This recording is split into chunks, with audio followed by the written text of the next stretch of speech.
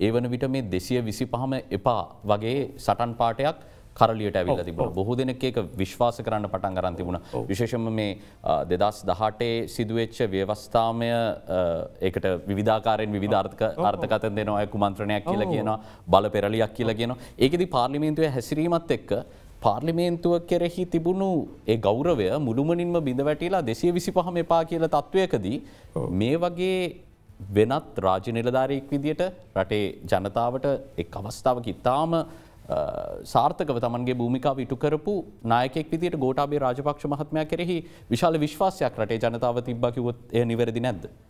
ඒ නිවැරදි ඒ සිද්ධ වන දේ නිවැරදි නමුත් සිද්ධ වන දේ වැරදි. සිදුන වැරද සිද්ධ උනේ කොමද කියල මං කියන ම කියන්නේ ගොටාබේ රාජපක්ෂ මහත්මය ජනතපති වීම වැරදි කියන නෙවේ මම කියන්නේ ඔය කියන තැනට සමාජයගිය කොහොමද දෙසිය විසිපහම එපා. දේශපාලන පක්ෂ වැඩක් නෑ. කියනක සිද්ධ උනේ ප්‍රධාන වශයම ගත්තොත්තෙම ලංකාවේ දේශපාලන පක්ෂ හෝ පක්ෂ ක්‍රමය විදිමත් ලෙස වර්ධනය වුණේ නැහැ.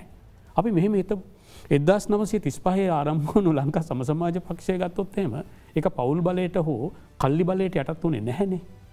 හැබ එක්සත් ජාතික පක්ෂයට මොකදුනේ. ශ්‍රී ලංක දස් පක්ෂයට මොකදුනේ.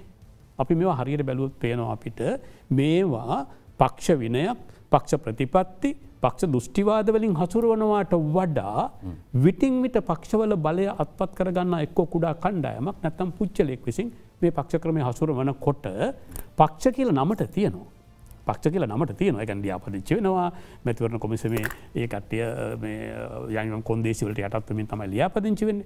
පක්ෂ තියෙනවා. හැබැයි මේ හරිට මේ වගේ. දැන් අර සාප්පුෝක තියෙන ඩමියක් කියලා කියන්නේ මනුෂ්‍යයෙක් නෙවේනේ දු ඇතුළෙ මොකුත් නැහැනේ එසෙන්ස එකක් සාරයක් නෑනේ ලංකාවේ පක්ෂවල සහ පක්ෂ ක්‍රමේ තියෙන බරපතනම ප්‍රශ්නය තමයි පක්ෂ ගුණය නැහැ.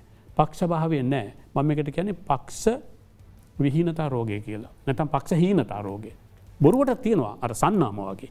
එතුර එහෙම ගත්තට පස්සේ එවැනි පක්ෂ තමයි මිනිසුන්ට එපවුනේ. අපි හරිදේ පෙන්නවා නම් ඒ අපි අපි මෙහෙමනේ. දේශපාලනය තියෙන් ඕනි කලාව තියෙන් ඕනි මාධ්‍ය තියෙන් ඕනි. ජනයට ඉස්සරහිම මිසක ජනයට පිටි පස්සෙන්න්නවෙන ජනයට ඕන ඕනි තැන්වල මාධ්‍ය අදගෙන යන්න පුළුවන්නම් ජනයට එමට වෙන්න. එක වෙනම කතාව මාකට eh, හිද නම ජනයට ඕන ඕනි තැන්වලට දේශපාලන අදගෙන යන්න පුළුවන් ජනයට ඕන ඕනි තැන්වලට eh, කලා වැදගෙන යන්න පුළුවන් අපි මොකද කියන ආනන්ද ප්‍රඥාවට නොගල කලාව. අපි අපි අපි මංක නිසි තැනට ගේ නොන මේක දේශපාලනය කියලා කියන්නේ මගේ සමරය හනුව මේ මත් ගුරුවරෙක් විදිට ඔබ දේශපාලනය කරන ජරා වැඩ ගොට එන්නේ කියලා. කඳු දේශපාලනය කන ජරාවක් නෙවේ.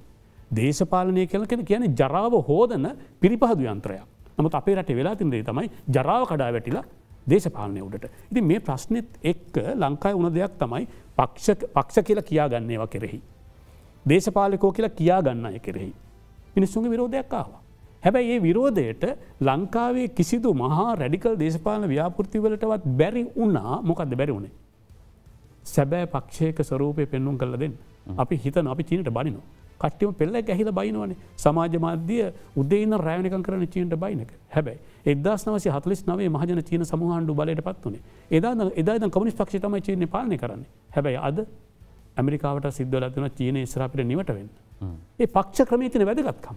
කාට ගැන පුල නැහැ ප්‍රජාතන්ත්‍රවාදයන අරකන මේක නැකල ඕ ප්‍රජාතන්ත්‍රවාදයකින්ක සාපේක්ෂයිනයකවිඳ. එක සීමිත දෙයක් අර නිදහස ඇතුළම නොනිදහස තියනවාගේ නිදහස කියන්නේ ඔය ඕනදයක් කරන පුල එකනෙවේ චීනය කොමිනිස් පක්ෂය ගත්තත්. ඒවගේම යුරෝපයේ බලවත් රටවල් වල. පක්ෂ ක්‍රමය ගත්තොත් හෙම හොඳ මුදාහරණය තමයි මේ මට මෑතකෙදි මතකයි ෆිල්ලන්තේ අගමැතිනය හෝ ජනාධිපතිනය තරුණ කෙනෙක් මහිත ඔබට වඩ ටිකක් බයස වැඩියෙක් කෙනෙ හැබැයි මේ මොකුත් දන්නති අපේ එලියන තරුණය වගේ නෙවේ. ඇය මේ මහජන මුදලින් රුපියල් හැත්ත පන්දහකතුක දාහර අරගන තිබුණා මේ කොහැර ගිහිල්ලා. ඒකට එකට නඩු. එකට නඩු. ඇත්ත පන්දහ ඇත්ත පන්දහට නඩු ඉතින් ප්‍රශ්තියන එක මකෙන ඒ පක්ෂ ක්‍රමය දෙකක් තියනක දෙක් පක්ෂ ක්‍රමය බලවත් රටවල් තියෙනවා.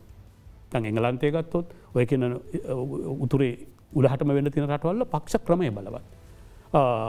චීනය වගේ රටක පක්ෂය බලවත්. හැබැ මේ දෙකම බලවත් වන රටවල් අපිට වඩා ඉතාමත්ම ශක්තිමත් සබල. ගෑස් කාන්දුවීමක් සඳහා පරීක්ෂා කරන විට සීල් එක කඩන්නට පෙර සබන් වතුර ස්ප්‍රේ කරන්න. තවද නිවසේදී ගෑස් ලෙබේ නොබ් එක ඕෆ් කර රෙගියලේටරේ හොඳින් සවිකර ඔන්න එකේද තිබිය යුතුයි. දැන් රෙගියුලේට්‍රයට සහ හෝස් බටයට සබන්වතුර හොඳින් ස්ප්‍රේ කරන්න. ලීක් නැති බව හඳුනාගන්න. අපි දැනුවත්වමෝ.